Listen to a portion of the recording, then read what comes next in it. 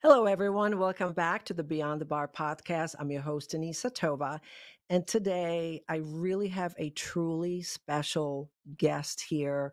Her name is Jessica Toelstedt. She is a partner, she's a family law attorney. She's a partner at Berkman Bottger, Newman and Schein. As she specializes in family law. And, uh, you know, the reason why I paused a little bit because she's also a dear friend of mine and she has so many layers to her and really um, has had an incredible journey. Um, it is it is a journey that is deeply personal and uh, really just just inspired by by her own challenging upbringing. So it's going to be very insightful conversation. You definitely want to uh, uh, uh, stay tuned. So welcome, Jessica. Oh, thank you for that kind introduction, Denise. Uh, I'm so happy to be here. Thank you for having me. You know, pleasure all mine. Um, we we've chatted a little bit, and you shared with me about a pretty personal and, and traumatic experiences. Um, can you share how they shaped you becoming a, a an attorney today, and and how it impacts your practice? Sure. So, uh, my parents were divorced when I was young. I was uh, 12, and my father um, had uh, drug and alcohol issues. And when my parents were divorced, we lived in Buffalo at the time, and the court system really wasn't um, set up to protect children. And my mom uh, went to a partner when she needed representation. And on the day of court, and I was there. My brother and I were both there. I'm not quite sure why, um, but we were. We sat in the hallway. But on that day, an associate showed up with a blank legal pad. Didn't know anything about the, the case. Didn't know anything about the, our family or my father. And when um, the judge wanted to order access for my father with us, you know, my mom argued against it and asked it to be supervised because of the drug and alcohol issues. And the judge plainly said, if you don't send your children the next time I see you, you better have your toothbrush. And so access was ordered. You know, there was no attorney for the children at that time. Um, if they were using forensics um, to do um, evaluations for custodial purposes, it, it- they weren't widely used. And, you know, we went once, and then the next time uh, he canceled because he had been drinking. And that was that. We never saw him again. He ended up moving away and passing away while I was in law school. But that day really instilled in me um, a very a deep understanding of how important you know representation is in family law um, and how much of an impact uh, an attorney who's representing a, a, a client and even the court system what a lasting impact they can have on a family and the children. And um, that's really why i became a family law attorney uh, you know to, to make a difference in you know other people's lives and hopefully be the person that you know i'm never going to be the person that shows up with an empty legal pad um, so that's that's really what got me interested in this area of law. This is this is incredible. How how old were you? Um, oh, how far back do you do you remember that experience in in in the court? So I was uh, about 12. My brother was uh, around nine. And, um, you know, it was, it was difficult because it was, as a child, you're thinking the court system is supposed to protect children. Why would a judge ever order me to be picked up and spend time with, um, you know, a man that's known to have drug and alcohol issues? So it was very confusing in that way. Um, but you know, it happened, and luckily it was only once, and then we didn't have to go through it anymore. So it wasn't, it didn't go on for a long period of time, which uh, you know I'm very grateful for. Um, but yeah, it really it, it has impacted my practice though because you know now I have children, but for the first ten years, even a little bit more that I was practicing, I didn't. And when I would represent um, a woman or a man, especially when they had children and they would be going through difficult custodial issues, and they would say to me, Well, you don't have kids, so you don't understand. And Mm. at that point, I could always say to them, Look, I, I don't understand from a parent's perspective because I'm not there yet. But I was one of those children. Like, I do understand the gravity and the importance of, of what we're talking about here and, and what, what it means to you as a parent, you know, from a child's perspective And um, I think that helped me with my clients for them to to understand that I related to their their situation. And I would imagine that over the years you had to do some work to let go um, of the trauma and and anger uh, and all of these confusing emotions to sort of uh, clear that right um, out of the way. Um, otherwise, I would, you know, even speaking from personal experience, when we go through trauma and then we're faced with uh, events which may not be directly related to your experiences, you can still get triggered. Um, Yeah. And and I, Yeah. you may have even mentioned that you were almost like you, you're almost doing a sort of a, a, a therapy work without being a therapist. Did I did I get that right? Yeah, so one of the jokes with matrimonial attorneys is that we are therapists, but we're not licensed to prescribe medication. And, you know, so often what we do day to day, um, while it does have uh, the law is a component of what we do day to day, a lot of it's helping our clients navigate the most difficult time in their lives.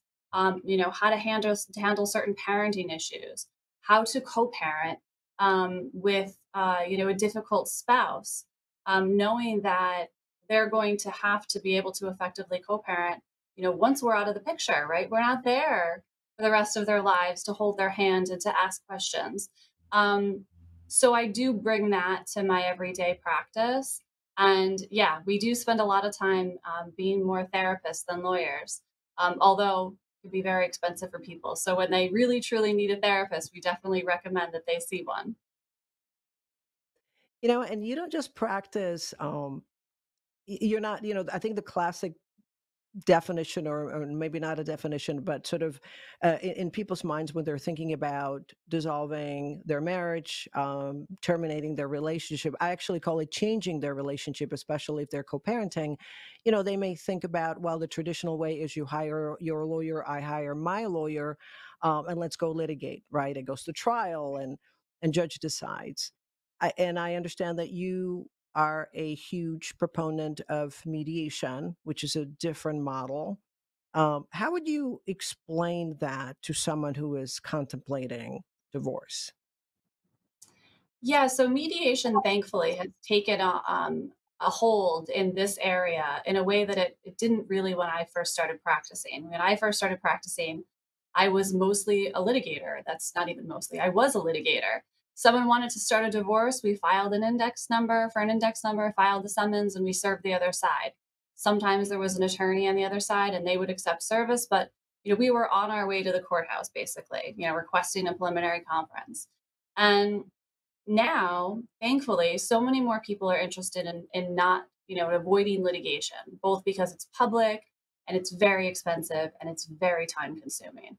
So, about 12 years ago, I came to this firm and was trained in mediation and was um, lucky enough to work with under Barry Berkman and spend hours really in mediations watching him and eventually started taking my own cases. And now my practice is entirely made up of um, mediation collaborative law, and really just out of court negotiated settlements. Um, I also do a, a, ton of prenups and postnups. But you know, mediation is great. It um, it enables people to hear not only what the other person is asking for, but why. And it's the why that moves people, right? It's not the the what. Um, any attorney can communicate the go back and forth and, and say, you know, I want the house or I want the retirement account or I want the car but it's it's what why the person wants that and why it's important to them that's motivating and so i find that the mediation cases in this area in particular you know really really encourage that explanation which helps that people to reach um, a resolution That's actually very well explained. And I think for many people who may be listening, be like, well, wait a second, I can't even, you know, I can't stand my soon to be ex right now. How are we going to get to the same room? Mediation doesn't mean basically that you're leaving something on the table, but you're able to get through through the process oftentimes um, you know practically faster it, it may be more cost efficient by really understanding the why because you may be stuck on arguing about you take this and i take that and you're stuck. But when, if you understand why why it is important to you and you're able just to sort of uh, you know let let go and, and meet somewhere in between it doesn't have to be in the middle you really can get through the process faster so it does not mean that mediation is only for those people who really really really like each other and, and get along Right. um yeah so you know and and Yeah. and i so yeah yeah No, that's um absolutely true. I have people sometimes say to me, "Well, we don't have an agreement, so we can't mediate." As if they could right only mediate if they come into the process already knowing what they're going to agree to, and I'm just going to draft it. And the truth is, the majority of mediations, there are no agreements except the agreement to mediate itself, right? And and then we work through it, you know, piece by piece. And it's not a shortcut. Sometimes people are afraid of mediation because they think they're not going to get all of the information. They won't have complete financial disclosure, but that's part of the process. You know, what we want is for everyone to have the same information so they can make informed decisions. You know, and since the essence of the podcast is to bring out a humanness, that's really humanness on both sides. Because for you as a practitioner to be such an open book, I think that speaks volume. There's so much strength in you being able to say, hey, look, beyond my title, I am a human being with all these fears and experiences and my own story. And so in front of you, you're sitting. Um, and you're sitting in front of me, and I and I and I get it. You are going through a very scary process um, and and and and you may feel a sense of shame and fear, and I understand it. Um, so by Mhm. sort of you, you have the ability to lean into it, and I think that's that that is really a, a wonderful that you're able to do that. And I know that you are also offering, I guess you would call it like a pre-marriage mediation. What what what is that? Yes. So this was actually an idea that my partner and I discussed, I don't know, it had to have been about 10 years ago. We were at the mediation training together and learning all about mediation. And her and I said to one another during the lunch break, why don't people do this before they get married? Why don't people come in and talk about what type of financial relationship they want during their marriage in advance, right? So much of what we see in divorces is inability to communicate, um, not on the same page with regard to finances, and maybe not even on the same page in terms of what they each envisioned for how they were going to live their their married life, right? Was either have a child? Is one person person going to stay home? Are they both going to work? Um, and so over time, obviously, I needed to learn mediation. I needed to to get some years behind me, really doing it, practicing in this this area. But I've started this new area within the firm. It's called pre-marriage mediation, and the idea is that people who are thinking about getting married or engaged um, come in, and I give like a New York primer, I call it. So I, I explain how their relationship will change according to the law once they get married and so often people get married and they don't understand that it is a legal relationship, you know, that that that it, that is uh, you know bound they're they're bound by the laws if one of them dies or they get divorced. Um, New York law is going to control what happens. And um, you know, I get people who come in for a divorce and they'll say, I'll ask about their assets and liabilities, and they the first thing they say is, well, everything is in separate names all the assets that I've accumulated during the marriage are all in my own name. And they think, unfortunately, that that means something. And wouldn't it be great if people went into a marriage understanding that that's not what defines a separate asset versus a marital asset? Both be on the same page. And the idea is, I think that, you know, people are going into marriages now later in life. They already have 401ks, they already have homes, um, they might have a business and so to really understand how the law is going to impact that relationship before they move forward with it, I think makes the most sense. And maybe it will lead to a prenuptial agreement, or maybe it'll just lead to an understanding about how they're going to handle their finances during the marriage, you know, whether they'll have joint accounts or separate accounts, how they'll treat inheritance if that if that comes in and they want to buy a home with it, what that means. Um, if people are making informed decisions, they're going to be better decisions than than than finding out at the at the end if god forbid they end up in a divorce um, what what it means right? That's not the time to find out um, that separate property is only property you acquired before the marriage or by gift or inheritance. Um, and so that's my goal with the pre-marriage mediation um, practice and i'm very excited about it. It's very practical. You know, there's something I don't know why it has to be such a taboo to talk about either sex or money, um, because I think it's a lack of communicating about these things. It it really is is what, you know, leads down to a disaster. I mean, look, why don't you, uh, you know, exchange uh, credit reports before you say I do? Just make it super transparent. Um, so leading by example. Okay, let me ask you this. I know you're married. Um, Mhm. what does your financial discussion look like? And what are your financial roles? You know, because sometimes you have somebody who loves the budgeting and the spreadsheets, and then you have the other who's like, eh, I can't stand it, uh, but I'll be in charge of something else. What, how would Mhm. you, how would you describe you and your husband with respect to managing your finances? So, you know, it's a little bit of a hybrid. Um, we did not get married until we were in our mid 30s. We already had careers. We already, my husband already had a home. And so we have we have accounts that are together. We have accounts that are separate. I mean, obviously, everything you accumulate during the marriage is marital. Um, but we each have a little bit of our own, you know, control. We will say, you know, if I purchase something on Amazon and want to return it, I'm not messing up, you know, the the operating account, if you will, for where we pay our mortgage. Um, and then in terms of like payment responsibilities, we'll say it's it's sort of shared. Um, I think when you get married a little bit later in life, you're used to having control over your finances, how you spend money, how you save money, how you pay your bills. And so gone are the days where people go from their father's home, right, to their husband's home and then, you know, just transfers the that responsibility from one to the other you know, you already lived a, a significant adult life doing these things on your own. And so I think it makes sense now that more people go into a marriage and they they sort of divvy up the responsibilities between them um, in a way that makes the most sense for them. What do you guys do when you're disagreeing? How do you handle your disagreements? You know, we don't disagree that often about money issues. Um, Or we try and talk about about things?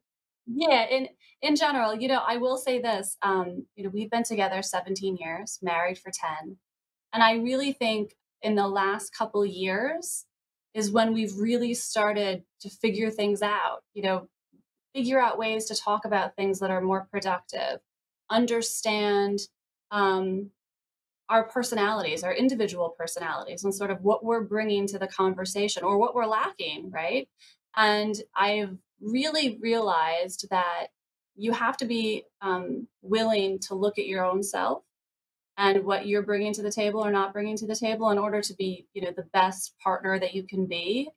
And i think in the beginning years of marriage and then even when your children are young it's not your focus um, and you don't really understand how um, much of an impact that has on your relationship. But it's it's it's really what makes or breaks you. It's a lot of work but you really reap the benefits if you if you put in the time. Yeah, it's like, uh, everything worthwhile is is is worth that work, so to speak, worth the the effort. Um, and yeah, that that is actually that is I, that is so true. You evolve as not only as a couple but also individually. I think it's important that you you grow individually and you are not the same people you were 20 years ago or 17 years ago. Um, and you have a hmm different outlook, different experience, and like you said, communication is super important. All right, uh, what do you guys like to do for fun when when you're not working? What do you do? when I'm not working. So I love to work out. I've recently found F45, which I love. Um, other than that, I usually Peloton and run. Um, we are big skiers. Well, my husband will laugh when he hears that um, because I didn't start skiing until my 30s. And then there was a big hiatus during while our children were young. But in the last few years, we've started taking a lot of ski trips in the winter. We go primarily to Gore. We've gotten our kids into it. They now ski better than me. Um, I still will take lessons, but last winter I skied my first black, which was huge. And Wow. um, now, now we'll say I do more, I ski more blues than greens, which is really huge for me because I was firmly in the green category and not looking to ever get out of it until I saw my kids and how much fun they were having. And, um, you know, with a little poke, they were poking and prodding me and calling me, you know, a baby, thumbs on the greens. I was like, okay, I need to get out of my comfort zone and take some lessons. And so that's one of the things we do in the winter that I absolutely love. It's my favorite uh, family vacation ski all day, you get that athletic, um, you know, type of uh, feeling at the end of the day. You've done something really, really, really meaningful, and then pajamas and dinner and bed. Yeah, that's it, right? That's all you have yep. the energy for. Yeah, no, that sounds like fun. So you Yeah. graduated from the the, the pizzas and the French fries on the little bunny hills, and now next, what is it? Helicopter skiing? I don't know if we'll ever get there, but um, I'm definitely doing better than I thought I ever would. And um, it's nice to all ski together. So I'm really glad I Yeah, took that leap because I was very afraid and not did not want to get out of my comfort zone. But there's nothing like children to really encourage you um, when you know you could do yeah. something all as a group um, to to to move you out of your comfort zone a little bit. Oh yeah, no excuses. I know. You don't have a choice. Wow. Well, Jessica, it's been an incredible, incredible joy to have you here and to hear your story and really, you know, understand the depth of of your experiences. And again, I'm so grateful, and I'm sure our viewers and listeners as well, that you are so transparent and just just the authenticity just just shines. Thank you so much for uh, for joining us today. Oh well, thank you so much for having me. This was my pleasure. And for everyone listening and watching today, you can learn more about Jessica Toelstedt and how to get a hold of her by clicking on her bio link below. And do not forget to subscribe to our YouTube channel, Beyond the Bar Podcast, and make sure that you follow us on all social media channels with the links posted below. Until next week, stay curious and stay inspired.